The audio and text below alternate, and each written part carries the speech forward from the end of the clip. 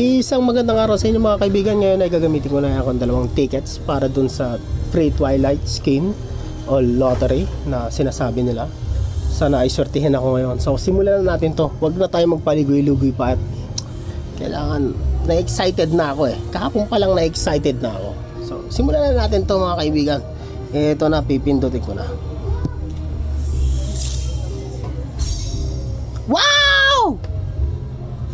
Wow! Cosmic Harmony Linux.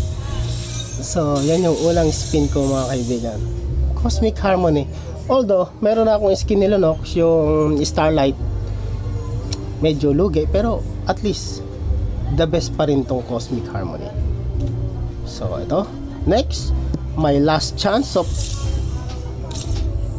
Oh! Meron na ako. Shetay. Shemas.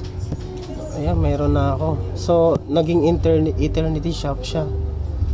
Ang pinakamasakit na bahagi ng eternity shop is hindi mo naman to maipapalit sa halagang 30. Kaya ang mangyayari nito is magiging sabi dito, excessive eternity fragments will be transformed to magic dust sent to the player by mail.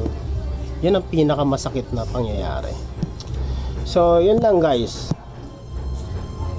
Maraming salamat sa panonood. Walang nangyari sa free skin. Mala sa mga nakuha ko. So, happy gaming guys. Good luck.